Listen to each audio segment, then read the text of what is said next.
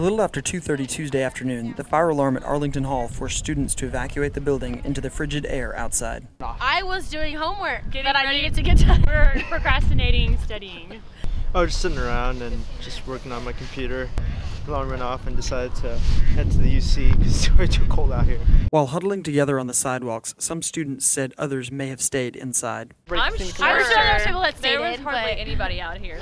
Students were only outside for about five minutes and were unsure why the alarm sounded. I have no, No, clue. We, we were never know like, why what the the alarm heck? goes off. No, I have no clue. It might have been drill, it might have been something else. Students said the two day weather break has been helpful. It's nice. Been catching up on some studying, getting some work done. This is JC Derrick with the Shorthorn.